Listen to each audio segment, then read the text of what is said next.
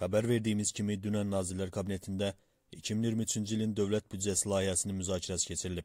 İclasda qeyd olunan məsələlərdən biri də dövlət başçısının tapşırığına uyğun olaraq əhalinin, şəhid ailələrinin, qazilərin sosial müdafiəsi və sosial təminatının gücləndirilməsinin, az təminatlı əhalinin sosial rifahının yaxşılaşdırılması ilə bağlı tədbirlərin genişləndirilməsi olub. Qeyd olunub ki, inflyasiya təzyiqi nəzərə alınmaqla həssas əhali qruplarına sosial dəstək tədbirlərinin həyata keçirilməsi üçün 2023-cü il üzrə dövlət büdcəsinin sosial yönlü xərcləri bu illə müqayisədə 9,2% çox nəzərdə tutulub.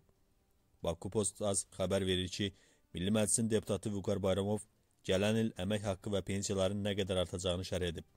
Deputat bildirib ki, 2023-cü ilin dövlət büdcəsində birbaşa sosial müdafiə və sosial təminat xərcləri 3 milyard 728 milyon manatdan 4 milyard 411 milyon manata dək artırılır.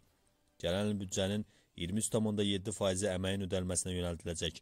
Bu, həmin istiqamətdə 6 milyard 495 milyon manat vəsaitin ayrılacağı deməkdir. Bu, 2022-ci ilin dövlət büdcəsində həmin istiqamət üzrə xərclə müqayisədə 5,2, ötən ilki faktiki göstəriciyə nəzərdən isə 30,6 faiz artım deməkdir.